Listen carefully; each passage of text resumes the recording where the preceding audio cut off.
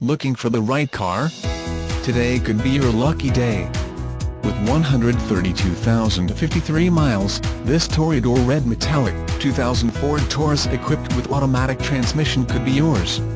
Request more information and set up a test drive right away.